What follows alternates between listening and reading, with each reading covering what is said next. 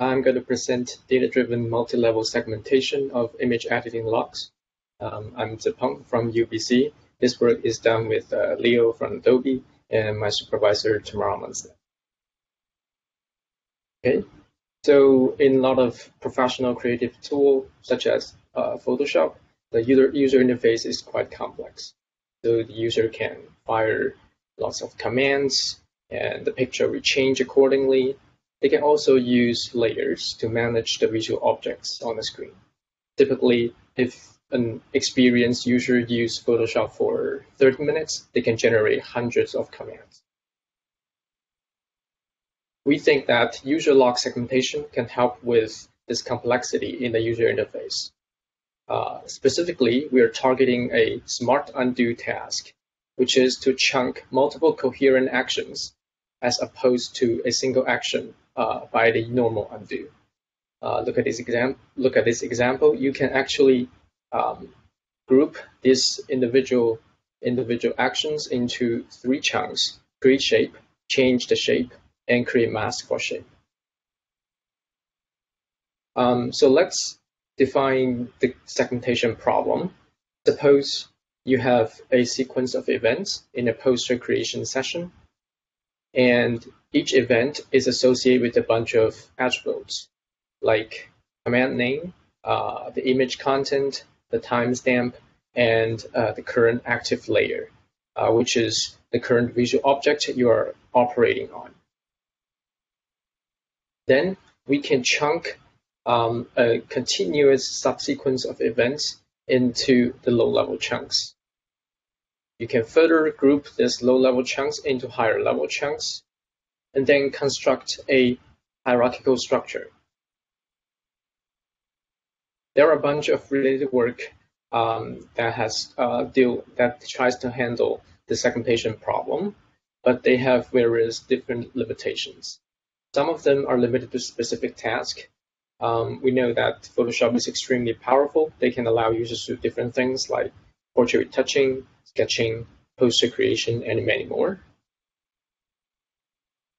Some of them fail to handle very complex user behaviors. Something um, Ali has mentioned some of them, uh, such as um, user can have different habits, meaning that they have different ways to, even for the same visual effect, they will make errors, they make corrections, they will make experiments.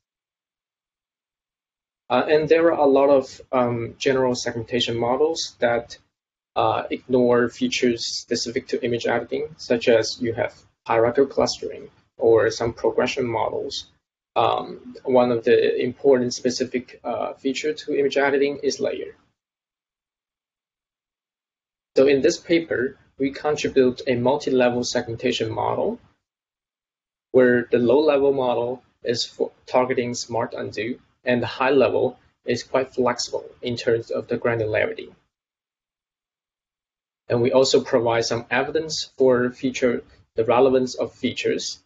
So we are the first to use layer for segmentation, and we find that layer is super relevant. We also find command and duration are relevant, aligned with previous work, but image content, it has no effect on the segmentation problem in contrary to the previous work. So here is a roadmap of our overall approach. Uh, instrument, compute, segment, analyze, inspect. So I will follow this order and introduce each phase one by one. So first, the instrument. We collect um, we collect data from Photoshop experts um, we wrote a Photoshop uh, plugin, um, and then while the user is using Photoshop, we'll log uh, commands, timestamps, images, and layers on fly. Uh, in total, we collected 16 sessions from 13 Photoshop experts uh, with about 30 minutes per session. Um, just take a look on the right about various different tasks um, the user is creating. Um, there are a total of 5,700 events with about 300 events per session. Then we built this um, interface to display all the data we collected.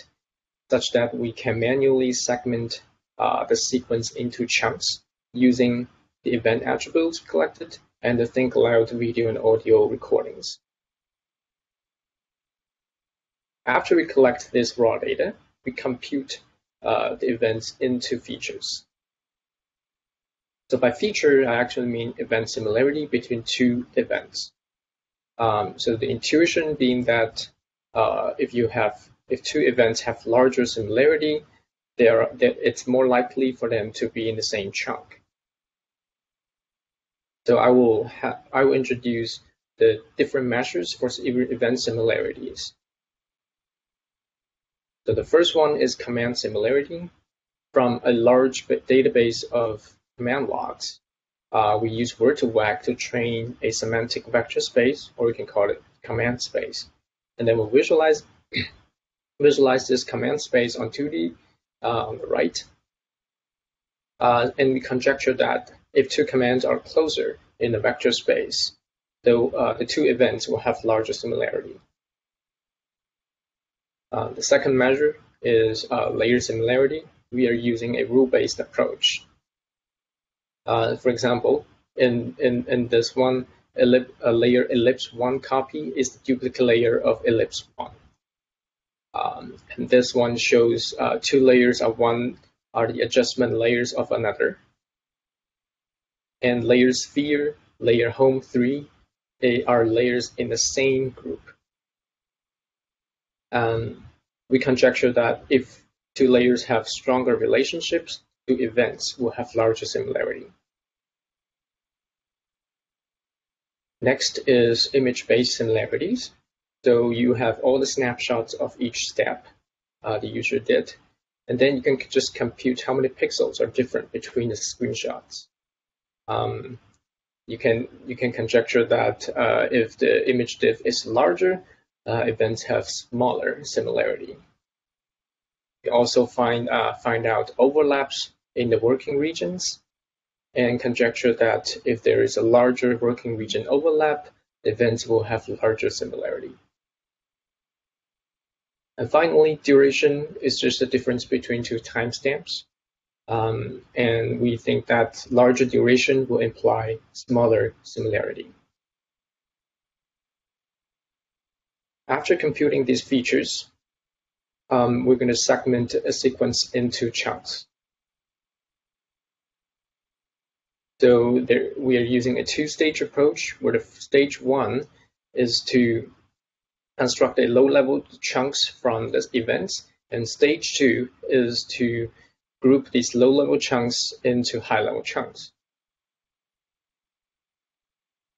So for the low level, we're actually translating the segmentation problem into a binary classification. We're trying to predict whether each event is a boundary, meaning the start of a chunk, or a non-boundary event. The data we have is 5,700 events, and we computed the features, which is the similarities between current and previous events. Um, and we used our manual segmentation as the ground truth. So we use a um, support vector machine with linear kernel, uh, pretty standard machine learning technique to do the prediction. Um, so after the training, we can plot uh, the data on this chart uh, where x axis is time, meaning the dots, each dot is an event. It lays out on the screen from left to right according to time and the y-axis is the probability of boundary. Um, and then we can draw a threshold, meaning the dotted vertical line, such that uh, the dots, the events above this line is categorized as boundary event, while the dots below this line is non-boundary event. When trying to decide where this threshold should be, we consider the cost for smart undo, which is our targeting task. Um, we think that the missed boundaries, the cost for missed boundaries is larger than the cost for over segmentation. So think about if you have over segmentation, um, the user will have you will need to issue multiple smart undos to reach his desired point. But if you have missed boundary, it's harder for the user to go back inside a chunk to find the exact point he wanted. So that means we're favoring recall over precision, and we've used the F2 metric to find a sweet, sweet spot for the threshold. After getting these low-level chunks, we're actually reusing this threshold value uh, to be a granularity of segmentation. Um, we choose uh, multiple different thresholds above the lowest one, such that it can construct high-level chunks. It is guaranteed that low-level chunks will fall into high-level chunks. Okay, so after we segment the sequence, we actually went back to analyze whether the features are useful or not. Uh, to be exact, we're looking at uh, whether each uh, each each feature is relevant to the segmentation. So we compute the linear coefficient in the in the SVM and sort it by the, their absolute values. So bigger absolute values meaning they have bigger weight in bigger weight in the SVM. They are uh, mean, meaning they're more relevant. And then we also plot the distribution of each feature separated by the non-boundary and boundary. Um, so we want to compare the distribution uh, between the top distribution and bottom distribution. Um, let's look at this layer similarity example.